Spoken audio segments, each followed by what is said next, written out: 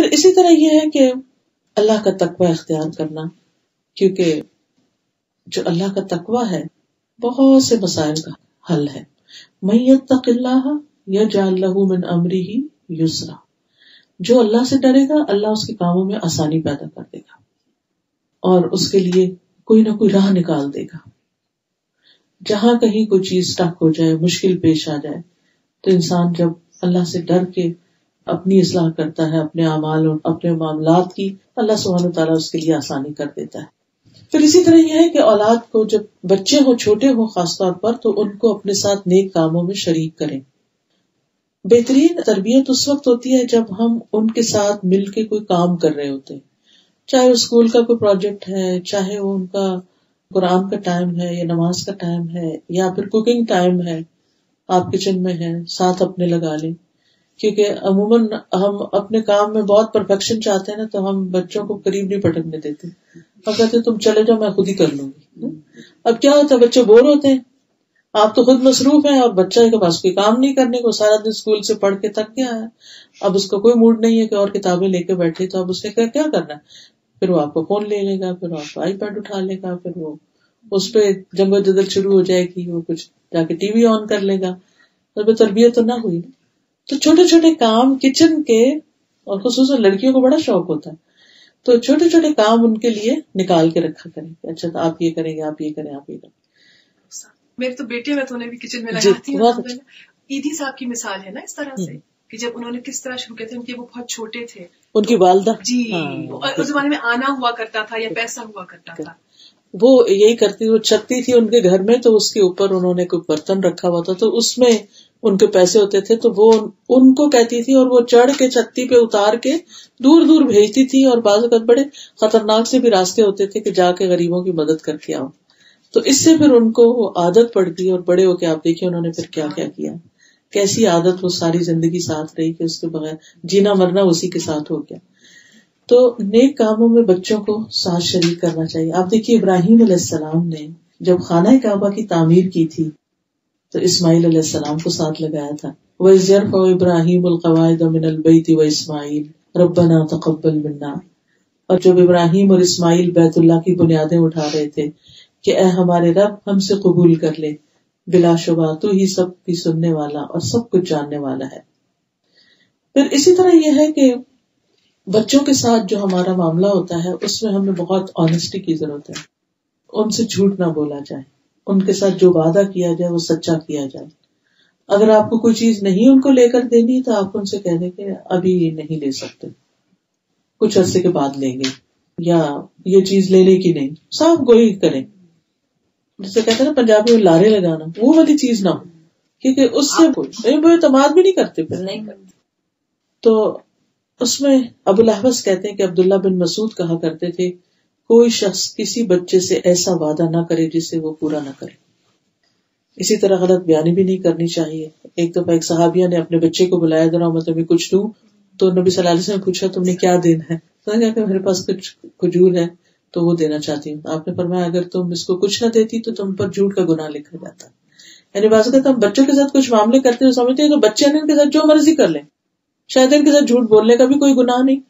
اور ان کو مار پیٹ کرنے کا بھی شاید کوئی پکڑ پوچھ نہیں، کیونکہ بعض مائیں جو ہے وہ بچوں کے ساتھ نہ روا زیادتی کرتی، بلا وجہ۔ یعنی چاہے ہسبینڈ سے کوئی لڑائی ہوگی اور سارا غصہ بچوں پر نکل جائے گا۔ تو اس معاملے میں بھی اللہ سے ڈرنا چاہیے۔ بہت کچھ اور کیا جا سکتا ہے۔ ہماری ایک اسٹوڈینٹ تھی تو وہ کہتی ہے کہ میں فزیکل ورک شروع کر دیتی ہوں۔ گھر کی صفائی اور موپ اور یہ اور وہ۔ یعنی ایسے کام شروع کر دیتی کہ جس سے میری انرجی جو ہے نا وہ بہت ریلیز ہو۔ تو بجائے اس کے کوئی ساری قوت بچوں پہ آ کے نکلے تو کہیں اور نکالنا چاہیے پھر اسی طرح یہ کہ بچپن سے ہی انہیں اللہ سے جوڑنا چاہیے۔ اپنا ڈر نہیں دینا چاہیے، اللہ کا ڈر۔ یہ کہ ابا آئیں گے تو یہ کہیں گے، فلاں آئیں گے، لوگ کیا کہیں گے؟ یہ بڑا عام جملہ ہے گھروں میں۔ یہ نہ کرو لوگ کیا کہیں گے؟ بھائی نہیں، لوگ کیا کیا کہیں گے؟ کہہ لے جو کہنا ہے۔ لوگوں کا کہنا، اور اب تو آپ دیکھیں کہ لوگوں کا کہنا بھی کوئی ویلو نہیں رکھتا۔ تو اللہ سے ہمیشہ۔ کیونکہ جب اللہ کا ڈر دل میں ہوگا تو کہیں بھی ہوں گے۔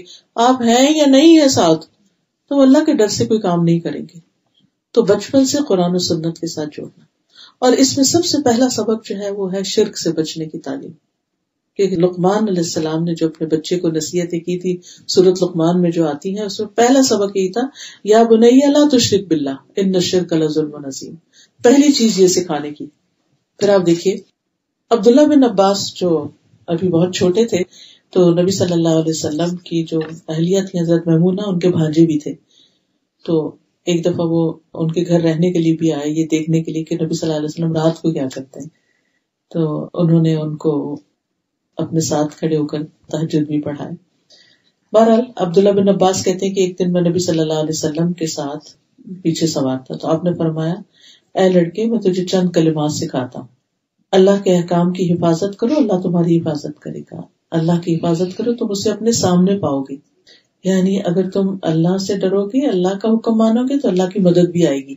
اب یہ بچے کو سکھایا جا رہا ہے۔ جب مانگو، اللہ سے مانگو۔ ان ساری امیدیں اللہ سے وابستہ کرو۔ لوگوں سے نہیں کرو۔ جب مدد چاہو، اللہ سے مدد چاہو۔ جان رکھو، اگر ساری دنیا مل کے تمہیں کوئی فائدہ دینا چاہے تو نہیں کچھ نفع دے سکتی، مگر جو اللہ نے تمہارے لیے لکھ دیا اور سب مل کے تمہیں کوئی نقصان دینا چاہے تو نقصان بھی نہیں دے سکتے سوائے اس کے جو اللہ نے لکھ دیا۔ قلم اٹھا لیے گئے صحیح پہ، خشک ہو گئے۔ گویا تقدیر کا معاملہ بھی سمجھا دیا۔ اور یہ کہ سارا فیصلہ اللہ کے ہاتھ میں ہے۔ تو لوگوں کا ڈر بھی دل سے نکال دیا۔ ایک بہادری کا سبق دیا۔ خوف نکال دیا۔ پھر اسی طرح آپ دیکھیں کہ اس میں بیسیکلی یعنی کہ اللہ کے ساتھ جوڑنے والی بات ہے۔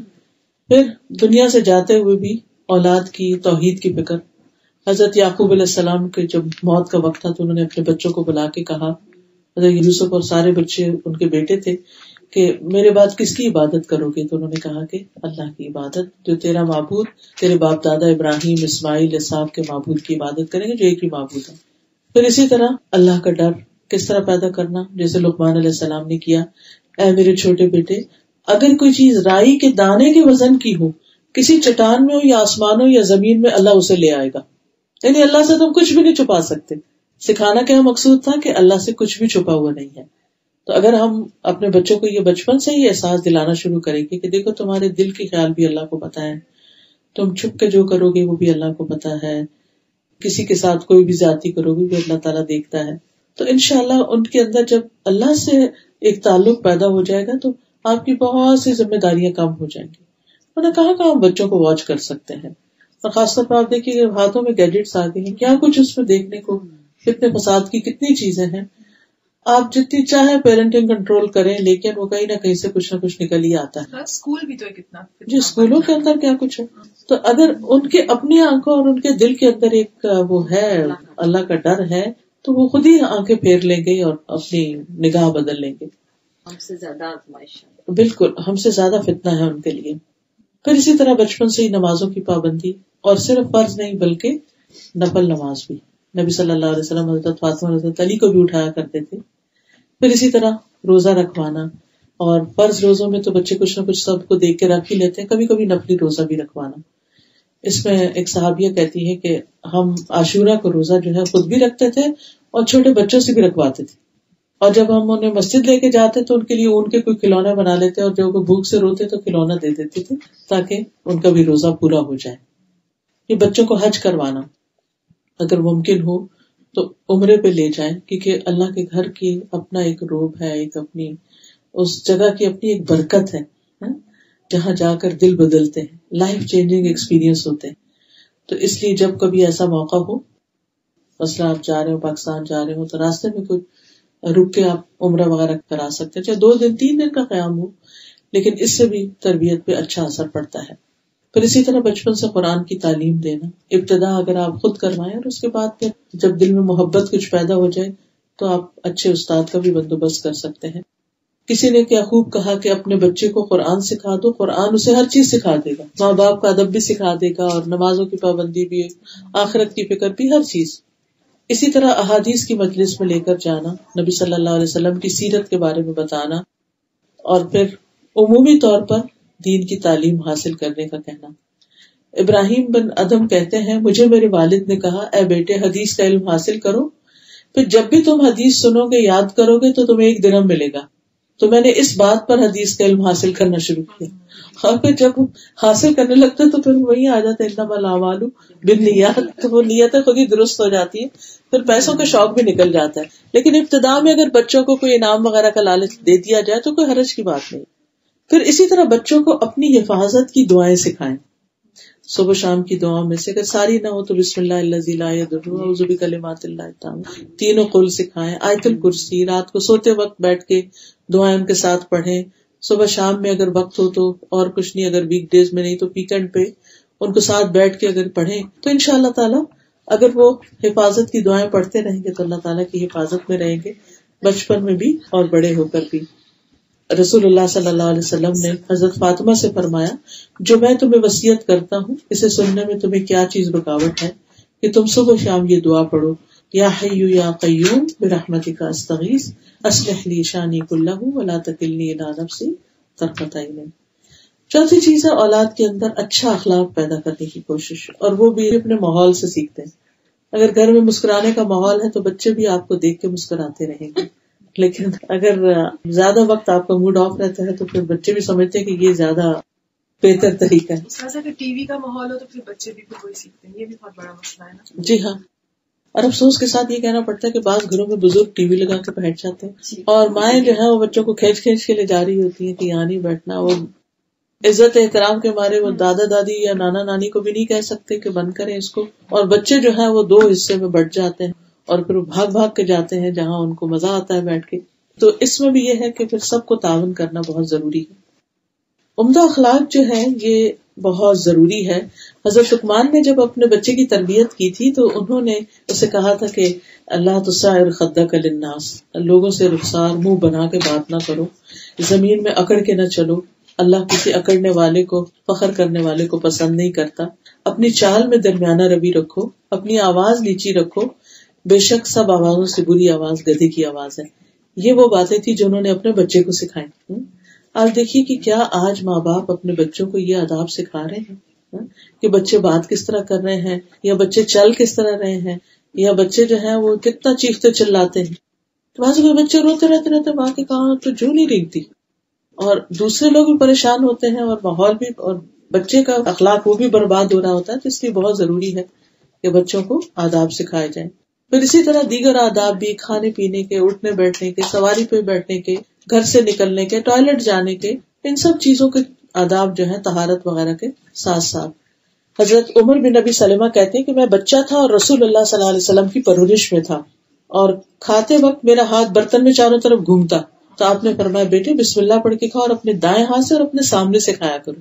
یہ ادب نبی صلی اللہ علیہ وسلم نے حضرت عمر سلمہ کے بیٹے کو، جو آپ کے گھر میں پلا تھا، اس کو سکھایا۔ تو وہ کہتے ہیں کہ اس کے بعد میں اسی ہدایت کے مطابق کھاتا رہا۔ پھر اسی طرح اجازت لینے کے آداب، خاص طور پر جب بالغ ہو جائے پھر اسی طرح گفتگو کے آداب۔ ابن عمر جو تھے وہ اپنے بیٹے کے ساتھ بہت سختی کرتے تھے اگر وہ اس کا لہجہ غلط ہوتا تھا۔ آج آپ دیکھیں کہ آپ اس شوق میں اسی پہ خوش ہو جاتے ہیں کہ ہمارے بچے بڑی اچھی انگریزی بول رہے ہیں۔ ہاں وہ سیدھی طرح نہ ہی بولے تو اس پر بھی دھیان رکھنا چاہیے کہ پراپر طریقے سے کمیونیکیشن جو ہے وہ بچپن سے شروع ہو۔ پھر اسی طرح رازوں کی حفاظت کرنا، ان کو پتا ہونا چاہیے کہ گھر کی کون سی بات باہر نہیں کرنی یا باہر کی کون سی بات آ کے گھر میں نہیں کرنی۔ کیونکہ بچے بعض اوقات گھر میں کوئی ماں باپ سے بات سنیں گے، جا کے اسکول میں اپنے دوستوں کو بتائیں گے وہاں سے، یا پھر جہاں خاندان قریب قریب ہوتے ہیں تو وہ ایک دوسرے سے بھی پوچھواتے رہتے ہیں بچوں سے، کیا پکایا تھا، کیا کیا تھا۔ وہ معصومیت سے سارے راز اگل دیتے ہیں اور اس سے بازو کے جھگڑے فساد بھی پڑتے ہیں۔ بازو کا تو رپورٹنگ غلط بھی ہوتی ہے۔ تو ایسی چیزیں جو ہے وہ پوچھنی نہیں چاہیے۔ اول تو بڑوں کو ہی خیال کرنا چاہیے کہ بچے کے اخلاق پہ برا اثر ڈالتا ہے۔ کیونکہ پھر وہ بچے بھی نا جاسوسی کے عادی ہوتے ہیں اور پھر باقاعدہ اس کام پہ لگ جاتے ہیں تو یہ اچھے اخلاق میں سے نہیں ہے۔ بلکہ ان کو روکنا چاہیے۔ بلکہ ان کو روکنا چاہیے۔ اور پھر اسی طرح یہ ہے کہ بعض اوقات ہم صرف پیار سے سمجھتے تربیت ہوتی ہے وہ بھی ہوتی ہے۔ نرمی اور محبت، شفقت سے، لیکن ڈسپلن کے لیے کبھی سختی کرنا یا ناراضگی کا اظہار کرنا وہ بھی ضروری ہوتا ہے، لیکن وہ ہر وقت کی بات نہ ہوگی ہر وقت، ہر روز ڈانٹ ڈپٹ، ہر روز ڈانٹ ڈپٹ، وہ پھر بے اثر ہو کے رہ جاتی ہے۔ پھر اسی طرح یہ پانچویں چیز یہ کہ بچوں کے لیے اچھا ماحول فراہم کرنا چاہیے۔ کیونکہ آپ دیکھیے کہ جس پودے کو ماحول اچھا مل جاتا ہے، وہ کتنا پنپتا ہے، کتنے پھل پھول لاتا ہے۔ اگر ہم چاہتے ہیں کہ بچوں کا بھی پوٹینشیل صحیح معنی میں باہر آئے، تو ان کو پھر اچھا ماحول چاہیے۔ اور ہم دیکھتے کہ ابراہیم علیہ السلام نے اپنی اولاد کو مکہ میں کعبہ کے پاس لا بسایا تھا تاکہ وہ نماز قائم کرے۔ تو جب جہاں گھر لیں یا جس علاقے میں آپ رہیں تو کوشش یہ ہو کہ مسجد سے بہت دور نہ ہو تاکہ بچے کچھ نہ کچھ نماز جو وہ مسجد میں بھی ضرور ادا کریں۔ پھر اسی طرح نیک لوگوں کی مجلس میں لے جائیں، نیک لوگوں سے ملوائیں، ان سے بات چیت کروائیں اور دوستوں کو بھی چاہیے کہ وہ بچوں پہ خاص توجہ کریں۔ ٹھیک ہے عمر یہ ہوتا ہے کہ جب کوئی گھر میں مہمان آتے ہیں تو وہ بڑے لوگ تو آپس میں باتیں کرتے رہتے ہیں اور چھوٹوں کو اگنور کر دیا جاتا ہے۔ پھر اسی طرح یہ ہے کہ اگر گھر میں بزرگ ہوں تو ان کی خدمت کا بھی کہنا چاہیے۔ مثلا دادا دادی یا نانا نانی یا کوئی پھپھی یا چچی یا کوئی بھی بعض اوقات گھروں میں رہ رہے ہوتے ہیں۔ تو حضرت انس کہتے ہیں کہ جب رسول اللہ صلی اللہ علیہ وسلم مدینہ ہجرت کر کے آئے تو ان کی عمر دس سال تھی۔ وہ کہتے ہیں میری ماں یعنی نانی خالہ وغیرہ، مجھے نبی صلی اللہ علیہ وسلم کی خدمت کی مسلسل تاکید کرتی۔ یعنی مجھے سکھاتی رہتی کہ تم نے ایسا کرنا ہے، ایسا کرنا ہے۔ چنانچہ میں نے آپ کی خدمت دس سال تک کی۔ اور جب آپ کی وفات ہوئی تو میں بیس سال کی عمر میں تھا۔ پھر اسی طرح ایسے لوگ یعنی ہر طرح کے لوگوں سے ایکسپوز کریں۔ یعنی کہ صرف اپنے ہی جیسے اسٹیٹس کے لوگوں سے، بلکہ اپنے غریب رشتے داروں سے بھی ملے ایسی جگہوں پر لے کر جائیں جہاں پر بچوں کو پتا چلے کہ زندگی ایک مشکل حقیقت ہے۔ اچھا، شکر گزاری ان کے اندر آئے، کوئی بیمار ہو اسپتال لے کر جائیں۔ اگرچہ بچوں کو بہت ریکمینڈ نہیں کرتے، لیکن کبھی نہ کبھی ایسے کسی وارڈ میں جہاں کو بہت مسئلہ نہ ہو، اگر آپ بچوں کو اسپتال لیں گے لائف ٹائم ایکسپیرئنس ہوگا، بھولیں گے نہیں اس کو اور اس سے شکر گزاری آئے گی۔ اسی طرح اگر کوئی فوت ہو جائے، تو جنازے وغیرہ پر بھی لے کر جائیں اور انہیں پوری حقیقت بتائیں۔ ابھی ریسنٹلی ٹائمیا کی دادی ساس کا انتقال ہوا تو اس میں بچوں کو ایک ایک اسٹیپ بتایا کیسے جان نکلتی تھی وہ اس وقت پاس بھی تھی روح کیسے نکلتی ہے اور فرشتے کیسے آتے ہیں اور پھر نہلاتے ہیں اور پھر قبرستان بھیجا پھر بچے نے قبر بھی دیکھی اور پھر یعنی سارے پروسیس میں اس کو شریک رکھا۔ اس کا فائدہ یہ ہوتا ہے کہ آخرت کی یاد انسان کے اخلاق اور تربیت پہ بہت اثر ڈالتی ہے۔ اور ان ملکوں میں اور ان ملکوں میں بہت ہو جائے تو آپ ہی بڑھیں جی۔ بالکل۔ کہاں سے آئے گی۔ تو اگر انہیں پتا ہی نہیں کہ یہ کیا ہو گیا، تو ان کے لیے سب کچھ سہنا ہی بڑا مشکل ہو جائے تو اس لیے اگر کسی کا بھی، ویسے تو میں سمجھتی ہوں ماشاء اللہ یہاں کی کمیونٹی بہت اچھی ہے۔ پچھلے دنوں جب اس ساگا میں ایک بچے کا ایکسیڈنٹ سے انتقال ہوا تو میں بھی جنازے میں تھی اور میں نے دیکھا کہ اتنے لوگ تھے اور پتہ نہیں کون کون تھا جن کی کوئی جان پہچان نہیں تھی۔ میں چونکہ مدر کے ساتھ ہی بیٹھی ہوئی تھی تو کچھ خواتین آ رہی تھی اور پوچھ رہی تھی کہ مدر کون سی یعنی انہیں یہ نہیں، وہ بس صرف اللہ کے نام پر آگے کبھی کسی کا بچہ جوان بہت ہو گیا تو چلے ہم بھی جاتے ہیں اس کے دکھ سکھ میں شریک ہونے کے لیے۔ لیکن یہ کہ وہ تو بعد میں آتے ہیں نا، تو گھر کے اندر کے افراد جو ہیں، ان کو ان چیزوں کا علم ہونا بہت ضروری ہے۔ پھر اسی طرح یہ ہے کہ اگر کچھ باصلاحیت لوگ ہیں بڑے، تو ان کی نگرانی میں بچوں کو دینا چاہیے، ان کے پاس بھیجنا چاہیے، ان سے سکھوانا چاہیے۔ مجھے یاد ہے کہ پہلے زمانے میں جیسے میرے سسرال ملتان میں تو جب میری شادی ہوئی تو وہاں میں نے اکثر گھروں میں یہ دیکھا کہ بزرگ خواتین کے پاس گلی محلے کے بچے چھوٹے آتے ہیں وہ ان کے ساتھ کچھ کام بھی کرتے ہیں، کچھ سپارہ بھی پڑھتے ہیں، کچھ اور بھی۔ تو یہ ایک تربیت کا ایک انداز ہوتا تھا، طریقہ ہوتا تھا کہ گھروں گھروں گھروں میں چھوٹے چھوٹے چھوٹے چھوٹے بچوں کی کلاسز کہ ماں کو خود بھی تھوڑا سا ٹائم مل جاتا ہے اور بچوں کے لیے سوشلائزنگ بھی ہو جاتی ہے۔ اور جو ایسی بزرگ خواتین جن کو کچھ کڑھائی، سلائی یا کوئی اور کام کا جاتا ہے، وہ بیٹھ کے ان بچوں کو یا سپارہ یا کچھ بھی، وہ بھی ان کو سکھا رہے ہوتے ہیں۔ چھٹی چیز یہ ہے کہ بچوں کی نرمی اور محبت کے ساتھ پرورش کرنی چاہیے۔ ان کی زیادتیوں کو معاف کرتے چلے جانا چاہیے۔ دل میں نہیں رکھنا چاہیے اور اگر سزا دینی بھی پڑے تو لمبی نہ کرے ٹائم آؤٹ کرے تو پھر یہ نہیں کہ سارا دن کیے رکھے اس کو تھوڑی دیر کے لیے بس سزا کافی ہوتی ہے کیونکہ تھوڑی دیر تو وہ برداشت کر سکتا ہے، اس کے بعد اس کے دل میں بدگوانی آنے لگتی ہے کہ یہ ماں میری اپنی نہیں ہے اور یہ شاید مجھے اس نے اڈاپٹ کیا ہوا اور کہیں سے کسی سے لے کر آئی ہے۔ اور پھر اس کے دل میں ایک نا، ایک بغاوت سی پیدا ہونے لگتی۔ تو اس سے بچنا چاہیے۔ ٹھیک ہے ڈسپلن کرنا چاہیے، لیکن زیادہ تر نرمی اور شفقت۔ نبی صلی اللہ علیہ وسلم فرمائے کہ بہترین عورتیں جو اونٹوں پہ سوار ہوتی ہیں، قریش کی نیک عورتیں جو اپنے چھوٹے یتیم بچوں پر سب سے زیادہ مہربان ہیں اور خامند کے مال کی سب سے زیادہ حفاظت کرنے والی ہیں۔ آپ کو یاد ہوگا کہ ایک شخص نبی صلی اللہ علیہ وسلم کے پاس آیا، جب آپ حسن حسین کو پیار کر رہے تھے تو اس نے کہا، میرے دس بچے ہیں تو میں نے کبھی کسی کو نہیں چوما۔ تو آپ نے ان کی طرف دیکھ کے فرمایا، جو رحم نہیں کرتا اس پہ رحم کیا بھی نہیں جاتا۔ یعنی آج تم بچوں کو نہیں چومتے تو کل وہ تمہارا ماتا کہاں سے چومیں گے؟ ان کے دل میں تمہاری محبت کہاں سے آئے گی؟ اور پھر اسی طرح یہ کہ بول کر بھی محبت کا اظہار کرنا چاہیے۔ اور اگر یہ نہ بھی ہم کہہ سکے کہ بیٹا میں تم سے محبت کرتی ہوں، تو نبی صلی اللہ علیہ وسلم فرماتے تھے، حضرت حسن کے لیے کہ اللہ انی احب اللہ میں اس سے محبت کرتا ہوں وہ احب آپ بھی اس سے محبت کریں۔ وہ احبب میں احب اور جو اس سے محبت کرے، آپ اس سے بھی محبت کریں۔ تو وہ بچے جب سنتے ہیں اچھا اتنے قیمتی ہے کہ سب ہم سے محبت کریں۔ کیونکہ بچوں کی تربیت میں کھانے پینے سے زیادہ محبت کی ضرورت ہوتی ہے۔ یعنی شاید کھانا پینا ان کے لیے اتنا امپورٹینٹ نہ ہو جتنی آپ کی محبت اور شفقت اور توجہ چاہیے ہوتی ہے۔ اور نبی صلی اللہ علیہ وسلم، حضرت ام سلمہ کی بیٹی جو زینب تھی، چھوٹی سی تھی، وہ جب ان کی نکاح ہو کر آیا، تو اس کو پیار سے بلاتے تھے، زینب کہہ کے پکارتے تھے۔ آپ ایک دفعہ خطبہ دے رہے تھے تو حضرت حسن اور حسین سورہ قمیضیں پہن کے چلتے چلتے آ رہے تھے۔ کبھی گرتے، کبھی اٹھتے، کبھی تو آپ ممبر سے اتر پڑے اور دونوں کو پکڑا اور دونوں کو لے کے ممبر پہ تشریف لے گئے اور فرمایا، اللہ نے سچ کہا ہے کہ تمہاری اولاد تمہارے لیے آزمائش ہے اور فرمایا کہ میں دونوں کو دیکھا اور میں صبر نہیں کر سکا اور اس کے بعد پھر آپ نے باقی خطبہ دیا۔ اور اس سے بھی پتا چلتا ہے کہ کتنی امپورٹینس دیتے تھے۔ اگر ہم اگر کسی درس کی مجلس میں کہیں بیٹھے ہوئے، اگر مہمان ہی بیٹھے ہوئے اور بچہ آ جاتا ہے، تو چلو چلو، باہر لے جاؤ اس کو۔ ایک دفعہ اس کو حق کرے کس کر لے اور پھر اس کے بعد بے شک تو اس کو بس اتنا ہی چاہیے ہوتا ہے۔ کہ اس کو یہ ہوتا ہے کہ سب کو بتانا چاہتا ہے کہ میں بہت امپورٹنٹ ہوں، ماں کی نظر میں۔ پھر اسی طرح نبی صلی اللہ علیہ وسلم بچوں کو پیار کرتے، ان کو سونگتے، ان کے ساتھ پکڑن پکڑائی کھیلتے۔ پھر اسی طرح نماز میں بچوں کو اپنے اوپر سوار ہونے دیتے۔ اور ماں تو خاص طور پہ اگر بچہ رو رہا ہے تو اٹھا کے بھی نماز پڑھ سکتی ہے۔ پھر چوٹ لگنے پہ ایک دفعہ حضرت اسامہ کے خون نکل رہا تھا تو آپ نے حضرت عائشہ سے کہا کہ ذرا اس کا منہ دھو دو۔ تو وہ کہتی ہیں کہ میں نے کہا، میرے تو بچے نہیں، مجھے تو بچوں کا منہ نہیں دھونا آتا۔ کہتی لیکن میں نے انہیں پکڑ کے کچھ نہ کچھ دھو دیا۔ مگر صحیح نہیں دھویا۔ تو نبی صلی اللہ علیہ وسلم خود اٹھے اور حضرت اسامہ کا منہ دھویا اور کہا کہ اسامہ اگر لڑکی ہوتا تو میں اس کو زیور پہناتا، اس کو توپے دیتا۔ پھر اسی طرح یہ کہ بچوں کی بیماری میں خاص طور پر ان کا خیال رکھنا۔ بخاری کی ایک حدیث میں آتا ہے کہ حضرت ابو بکر رضی اللہ تعالیٰ عنہ نے حضرت برائے ابن عازب کے والد عازب سے اونٹ کا پالان خریدا، وہ لکڑی ہوتا ہے جس کے اوپر بیٹھ کے سواری کرتے ہیں۔ تو وہ ذرا بھاری تھا تو انہوں نے برا سے کہا کہ آؤ میرے ساتھ گھر چھوڑ کر آؤ۔ تو وہ برا ساتھ آئے۔ تو برا یہ حدیث بیان کرتے ہیں کہ میں جب اندر گیا تو حضرت عائشہ لیٹی ہوئی تھی۔ اس وقت پردے کے کام ابھی نہیں آئے تھے۔ تو حضرت ابو بکر نے پوچھا، بیٹی، تمہارا کیا حال ہے؟ تو پتا چلا کہ بخار ہے۔ تو حضرت ابو بکر نے جھک کر ان کے گال پہ پیار کیا۔ تو بچوں کو خصوصاً بیماری میں توجہ چاہیے ہوتی ہے، پیار چاہیے ہوتا ہے۔ اور ان کو یہ احساس ہونا چاہیے کہ ہم ان کے بارے میں کنسرنڈ ہیں۔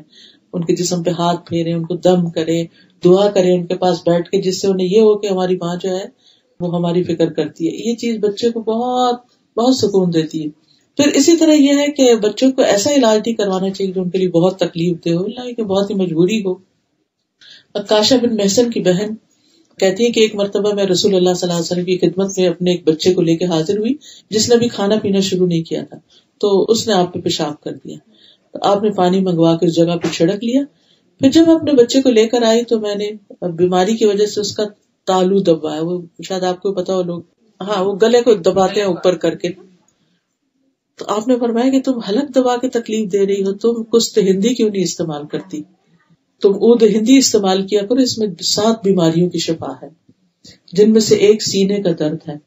حلق کی بیماری ہے تو ناک میں دوائی ڈالی جا سکتی ہے۔ سینے کے درد کی صورت میں اسے منہ کے کنارے سے ٹپکایا جا سکتا ہے۔ ایک بوٹی ہوتی ہے ڈڑی بوٹی ہوتی ہے، اور ایک ہوتی ہے کست باہری جو سمندر سے آتی ہے، اور ایک ہوتی ہے کست یا اد ہندی جو پہاڑوں کے اوپر اگتی ہے۔ اور دونوں میں بے شمار فائدے ہیں ایک باہری شاید ٹھنڈے مزاج والوں کے لیے ہوتی ہے اور جو ہندی ہوتی ہے وہ گرم مزاج والوں کے لیے، یا وہ گرم ہندی گرم ہوتی ہے جو پہاڑوں پہ ہے اور دوسری ٹھنڈی ہوتی ہے۔ تو اس میں سیون کیورس ہیں اس میں، سات بیماریوں کا علاج ہے۔ اور بچوں کو تھوڑی تھوڑی دی جا سکتی ہے، بڑوں کو بھی اگر نزلہ زکام وغیرہ ہو، یا خاص طور پر ایسما کی اگر تکلیف ہو، اور بھی کئی، بلکہ پچھلے دنوں مجھے ایک ڈاکٹر بتا رہی تھی کہ کسی نے کینسر میں اس کو لیا دن میں پانچ دفعہ۔ تو اس کے کچھ عرصے بعد جب چیک کروایا تو رپورٹ بالکل صاف تھی تو الحمد للہ نبی صلی اللہ علیہ وسلم کو اللہ سبحانہ تعالیٰ نے ظاہر ہے وہی کے ذریعے جو چیزیں بتائی ہیں، بہت ہی فائدے کی ہیں۔ پھر اسی طرح جب سفر سے آئے تو خاص طور پر بچوں کے لیے کچھ نہ کچھ لے کے آئے۔ ہمارے والد جو تھے، جب گھر آتے، کچھ نہ کچھ لے کر آتے اور پھر ہم بچوں میں سے ہی دیتے اور کہتے کہ بچوں کو تقسیم کرو نا، تو باریاں ہوتی تھی کہ۔ پھر اسی طرح نبی صلی اللہ علیہ وسلم حضرت فاطمہ سے بہت محبت کرتے تھے۔ اور وہ حضرت عائشہ کہتی ہے، میں نے سب سے زیادہ چال، ڈال، عادات، بات چیت میں حضرت فاطمہ کو حضور صلی اللہ علیہ وسلم سے قریب ترین پایا ہے۔ اور جب آپ کے پاس آتی تو آپ ان کے لیے کھڑے ہو جاتے، ان کو بوسا دیتے، انہیں اپنی جگہ بٹھاتے۔ جب آپ جاتے تو وہ بھی بالکل اسی طرح کیا کرتی تھی۔ اسی طرح ایک موقع پر آپ نے حضرت فاطمہ، حضرت علی، حضرت حسن، حسین سب کو اپنی چادر کے نیچے لے لیا۔ اور پھر اسی طرح بچوں کو جب اٹھائے رکھے تو نرمی سے کھینچے اور بال کھینچنا اور پٹخانا اور گرانا اور یہ نہیں کرنا چاہیے کیونکہ ان کے اندر خوف بیٹھ جاتا ہے۔ نازک بھی ہوتا ہے خوف بھی بیٹھ جاتا ہے۔ اور چھوٹے بچوں کو تو خاص طور پہ بالکل مارنا نہیں چاہیے۔ دیکھیے جب نماز کے لیے دس سال کی عمر میں جا کے کہا گیا اور پھر اسی طرح یہ کہ ہر وقت روک ٹوک نہیں کرنی چاہیے۔ حضرت انس کہتے ہیں میں دس سال حضور صلی اللہ علیہ وسلم کے پاس نہ ہوں اور آپ نے کبھی مجھے نہیں پوچھا یہ کیوں نہیں کیا وہ کیوں کیا؟ یعنی بہت زیادہ انٹرفیئرنس اور ہر وقت نصیحتیں اور ہر وقت ان کو بس لیکچر دیے چلے جانا، یہ اس کا کوئی فائدہ نہیں ہوتا۔ ساتویں چیز یہ ہے کہ اولاد کو دعائیں دینا۔ اٹھتے بیٹھتے دعائیں دیا کریں۔ وہ کام خراب بھی کرے تو کہ اللہ اس کو ہدایت دے، اللہ تمہیں ہدایت دے۔ اللہ تمہیں جنت میں لے جائے اللہ تمہیں متقین کا امام بنا، جو بھی آپ کا دل چاہے۔ اور والدین کی دعا قبول بھی ہوتی ہے۔ نبی صلی اللہ علیہ وسلم فرماتے تھے کہ میں اپنے والد ابراہیم کی دعا ہوں۔ یعنی ابراہیم علیہ السلام نے دعا کی تھی نا، ربنا وبا فیم رسول اور اولاد کو کبھی بد دعا نہ دے کیونکہ دکھ میں اگر ماں باپ کے منہ سے کوئی بات نکل جاتی ہے تو اگر قبول ہو گئی تو آپ دیکھیں پھر آپ خود ہی تڑپیں گے۔ تکلیف بھی تو ماں باپ کو خود ہی ہوتی ہے نا پھر اولاد کا دکھ کبھی بھی برداشت نہیں ہوتا۔ نسلوں میں نسلوں میں جاتا ہے پھر۔ اور اولاد کے لیے جو دعائیں ہیں ان میں پیدائش سے پہلے ربی حبلی من الصالحین ربی حبلی من لدن کا ضروریت طیبہ ان کا سمیع الدعا ربنا حب لنا من أزواجنا وذرياتنا قرة أعين وجعلنا للمتقين إماما. ربنا وجعلنا مسلمين لك ومن ذريتنا أمة مسلمة لك. وأرنا مناسكنا وتب علينا إنك أنت التواب الرحيم. رب أوزعني أن أشكر نعمتك التي أنعمت علي وعلى والدي وأن أعمل صالحا ترضاه. وأصلح لي في ذريتي إني تبت إليك وإني من المسلمين. رب اجعلني مقيم الصلاة ومن ذريتي. ربنا وتقبل دعاء. ربنا اغفر لي ولوالدي وللمؤمنين يوم يقوم الحساب. واجنبني وبني أن نعبد الأصنام. اللهم إني أعوذ بك من جار السوء ومن زوج تشيبني قبل المشيب ومن ولد يكون علي ربا. ومن مال يكون علي عذابا ومن خليل ماكر عينه تراني وقلبه يرعاني. إن رأى حسنة دفنها وإن رأى سيئة وإذا رأى سيئة أذاعها. یا حیو یا قیوم برحمتک نستغیث یا اللہ تو ہم سب کے بچوں کو ہدایت عطا فرما انہیں ہماری آنکھوں کی ٹھنڈک بنا. یا اللہ ہماری نسلوں میں دین کو باقی رکھا اللہ انہیں متقین کا امام بنا. اللہ ہمارے بچوں کو ہمارے لیے دنیا اور آخرت کی سعادت اور کامیابیوں کا ذریعہ بنا۔ ہمارے لیے بہترین صدقہ جاری ہم کو بنا۔ اللہ اس گھر پر اپنی خیر و برکت نازل فرما۔ جتنی بہنیں آئی ہیں، انہوں نے جو کچھ سنا ہے، اور ہم سب کو اس سے بہترین فیض پہنچا، برکت عطا کر ہمیں عمل کی توفیق دے۔ اور ہم سب سے اس کوشش کو قبول فرما دے ربنا تقبل منا انك انت السميع العليم یا اللہ، ہم سب کے بچوں کو صحت اور ہدایت عطا فرما۔ یا اللہ انہیں نیک بنا۔ ہم سب کی پریشانی اپنے بچوں کے سلسلے میں دور فرما۔ ربنا تقبل منا انك انت السميع العليم وتب علينا انك انت التواب الرحيم وصلی اللہ تعالی علی خیر خلقه محمد وعلى آله واصحابه واهل بیته اجمعین برحمتک یا ارحم الراحمین۔ جی ضرور پوچھیے۔ جیسے آپ ذکر کیا تھا نا کہ نیبرز چالیس گھر ادھر اور ادھر اس طرف ان کا کتنا وہ فقر ہے۔ تو یہاں کیا کیا جا سکتا ہے؟ مطلب یہاں پر ظاہر ہے نان بلیورس بھی ہیں دوسرے ریلیجنس کے بھی ہیں مگر ان کے لیے کیا کر سکتے دعا کر سکتے ہیں؟ دعا بھی کر سکتے ہیں اور جیسے رمضان ہے یا کوئی ایسا فیسٹیول ہے تو اس موقع پر کوئی چھوٹا سا گفٹ بنا کے سب کو بھجوا دیں۔ یا جیسے آپ کسی نیبرہڈ میں آپ شفٹ ہوئے ہیں تو وہاں پر آپ کوئی اچھا سا کارڈ لے کے سب کو کہ ہم یہاں پر آئے ہیں نیڈ اینی ہیلپ یا کچھ بھی تو کوئی اچھا میسج لکھ کے سب کو بھیجا جا سکتا ہے just to introduce yourself تو اس سے پھر ایک خیال آتا ہے۔ جی بالکل یہ تو یہاں تو یہاں پاکستان میں بھی یہی حال ہو گیا ہے کہ جتنے سیکورٹی کے مسائل ہو گئے جی، اس کی وجہ سے لوگ ڈرتے ہیں کسی کے گھر جانے سے بھی کسی کو ایون بلانے سے۔ تو یہ بھی ہے نا آج کل کا تو میں ہم نے جب کورس کیا تھا تو ڈاکٹر صاحب نے ہمیں ایک ورک شاپ ہم نے جی رمضان کا۔ اس وقت انہوں نے ہمیں بتایا تھا کہ کھجور کے چھوٹے پیک لے کے عید کے موقع پر اور اس میں لکھ کے کہ بھی ہم اس گھر پہ اس جگہ رہتے ہیں ہم عید منا رہے ہیں تو جی۔ اور رمضان کا کہ یہ چھوٹا سا انٹروڈکشن رمضان کا کہ رمضان۔ کیا اور اس میں ہم فاسٹ کرتے ہیں اور اس طرح کی چیزیں۔ تو اس سے یہ کہ کل ہی میں ایک چھوٹا سا ویڈیو کلپ دیکھ رہی تھی، کسی نے مجھے بھیجا اور اتنا اچھا تھا۔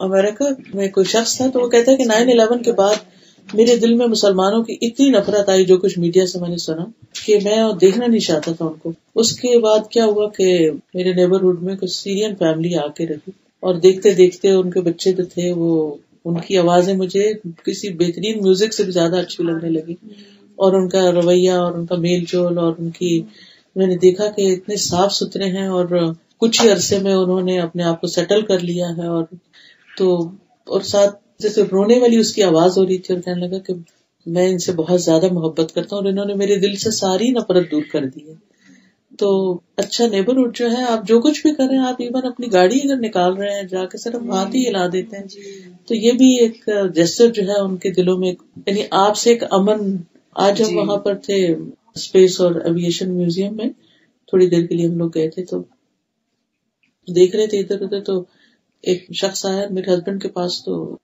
وہ کہنے لگا کہ we welcome you in this country تو اس نے یہ کہا کہ ہم نے تو کسی کو بھی نہیں جا کے کہا کہ وی لائک دس کنٹری یا میوزیم کتنا اچھا ہے کچھ. تو یہ لوگ اگر ہمیں کرٹیسی دکھا سکتے تو ہم کیوں نہیں آگے بڑھ کے کسی کو کچھ کہہ سکتے؟ ٹھیک ہے۔ سبحانك اللهم وبحمدك اشهد ان لا اله الا انت استغفرك واتوب اليك السلام علیکم و رحمۃ اللہ۔